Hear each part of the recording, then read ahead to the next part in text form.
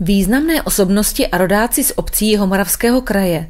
Lidé, o kterých se až tak nemluví, ale zaslouží si svou pozornost. Jedním z nich je i brigádní generál Josef Srstka, rodák z Brumovic. Na počest jeho úmrtí dne 1.6.1943 se vedení obce Brumovice rozhodlo uspořádat pětní akt spojený s besedou, kterou vedl pan František Trávníček, předseda spolku vojenské historie Valtice. Kdo to vlastně byl? Josef Srstka? Brigádní generál in memoriam Josef Srstka byl brumovický rodák. Narodil se tady 1895, eh, ve svých 20 letech po studiích musel narukovat do velké války, dostal se do válečného zajetí, stal se válečným zajatcem v Rusku, vstoupil do srbské dobrovolnické divize, potom po jejím zrušení přešel do Francie, kde v rámci 21. roku se účastnil bojů na západní frontě. No a potom se po návratu do Československa se stal důstojníkem s povoláním, důstojníkem dělostřelectva, absolvoval vojenskou válečnou školu ve Francii, stal se postupně až do roku 1939 plukovníkem, naposledy byl velitelem dělostřeleckého pluku v Příbrami. No a v roce 1939 po e, rozpuštění armády tak eh, se stal civilem, no ale zapojil se do odboje proti okupaci, stal se pokladníkem obrany národa, měl na starosti finance, spolu, eh, spolufinancoval nebo zabezpečoval finance nejenom pro postižené rodiny, ale také pro odboj Mašína, Morávka a Balabána. Jeho rukama prošly i peníze pro pro agenta A54 Paula Týmla, takže byl to významnou osobností našeho odboje.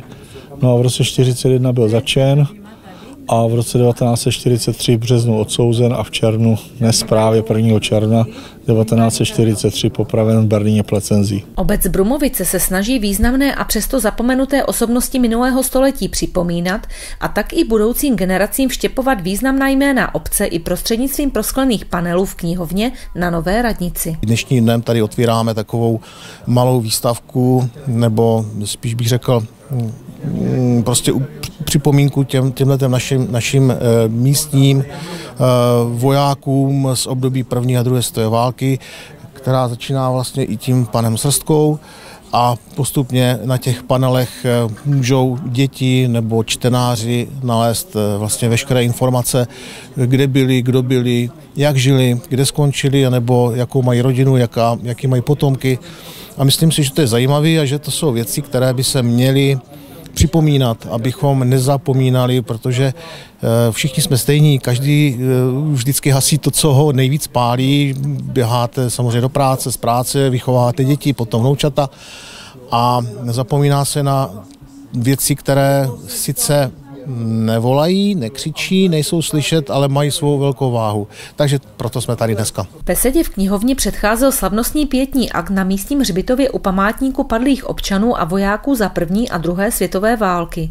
Zhruba 10 metrů od místa památníku je i rodinný hrob rodiny Srstků, pronesla se modlitba vedená vojenským kaplanem Jaroslavem Zoubkem. Otčenáš, jen si na nebesích, posvěd se jméno Tvé, přijď království Tvé, buď vůle Tvá, jako v nebi, tak i na zemi. Chléb náš dnešní dej nám dnes a odpust nám naše viny, jako i my odpouštíme našich dluhů.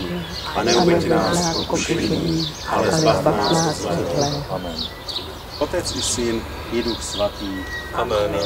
Jděte ve jménu Páně. Bohu díky.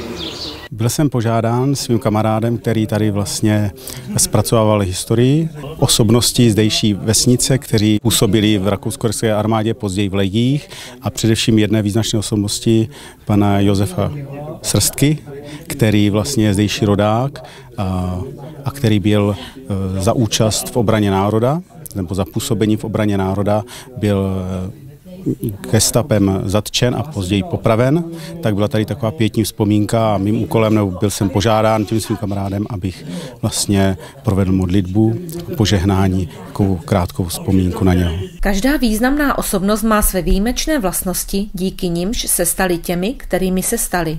Většinou nás inspirují k práci, vedou ke smyslu života, pomáhají najít naši cestu, plnit cíle.